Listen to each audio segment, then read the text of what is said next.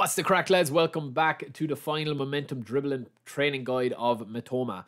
Now, if you guys remember way back when, we did highlight this guy like all the way back in eFootball 2022 as a hidden gem, and he has gone from strength to strength to now get a momentum dribbling uh, card. He is insane, lads. One of my favorite players to use.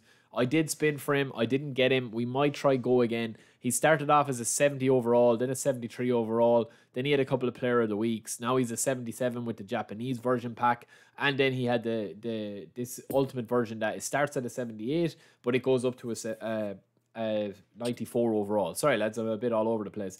But yeah, 94 overall is what he goes up to here. If you take a look at his card, he's got 45 levels to go, which is huge for a card with this raw ability straight off the rip. Because if you put 10 points into acceleration and um, dribbling, you're going to have 90 dribbling, 95 acceleration straight off the rip, and still some change to spare, right? So when we take a look at him here, he's actually not too dissimilar to this Japanese version that they released. Obviously, the acceleration is way worse, but this guy is the best version of him that they have released by a mile because he's got 45 version uh, versions to go or player trainer progression uh, points to go, right? So that's going to be a huge thing. So if we take a look at his levels here, we're going to ignore for the first build. We're going to do it in real time. A few people ask me to do it in real time. We're going to ignore his kind of like as a as a dribble. This is going to be like a left midfielder type player, right? We've had a look at a couple of his stats here. Let's take a look at his player skills, right? So he does have first time shot, he does have scotch move, chop turn, and double touch, but he doesn't have any passing skills, right? So that's why if you are looking to play him out on the left mid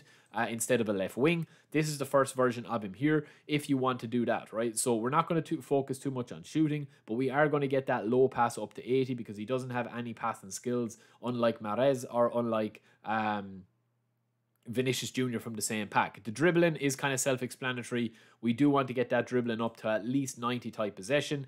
And then it's kind of pick your poison, right? Because we don't need a massively high offensive awareness if we're not going to be playing him as a dribbler, right? We can get the balance up obviously as best as we can, but we do need to keep a few for the stamina, right? I would say to have maybe at least 82 speed.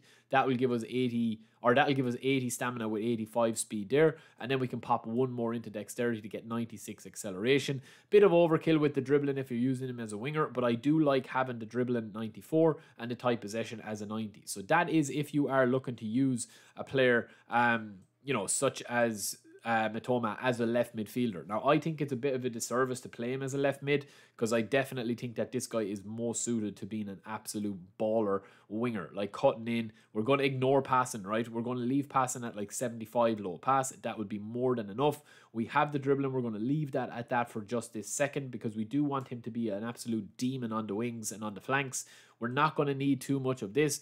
80 speed is more than enough with 75 stamina. Yes, we're going to have to replace him after about 75 minutes, but he should have the damage done by then. Or if we bring him on from the bench, if he's not fully form arrow, we'll be able to get instant um, impact off the bench for him without having to need a massive variety of stamina or a massive. Um, you know, massive stamina reserves, so to speak, right? So when we've 23 points left here, we still have 90 tight possession, 94 dribbling, and 96 acceleration, right? We've got 75 passing, uh, low pass, which is quite good. The shooting, we don't need that at all. If we're using a winger um, for the way that we're going to be using wingers, is not going to be shooting. We don't need that at all because even if you train up to 75, you're not going to get the curl in that much. Um, and he doesn't have the real like kind of shooting ability. Anyway, this guy is just a speed demon, similar to Dembele. Kind of that's how I play him. You'll still be able to score a couple of tap ins with him and that, but his dribbling is where it's all about, right? The passing, as I said, leave that at 75. We've got 25 progression points. So if you want to, you can actually get his ball control to 90 as well. That'll bring his, his dribbling up to 97, right? I think that's probably slightly overkill. I would leave the dribbling at 95 or else 94, depending on how you want to train him and I would probably boost up um, his offensive awareness. Now this is going to max out his acceleration at 99, which is a bit of a, a bit of a waste because obviously if we got a form arrow, we're going to have no boost from that. But we want to balance up as close as possible to 90 because that's going to make a big difference when he's shrugging off challenges and stuff because he is quite quite slight, right? From there, we can then decide to do whatever we want to do. As I said, you can pump a few more into the dribbling if you want to get 90 ball control, 97 dribble, and 93 tight possession. And then you can just pop one in there to bring him up to a 92 overall, 99 acceleration, 97 dribbling, 93 tight possession.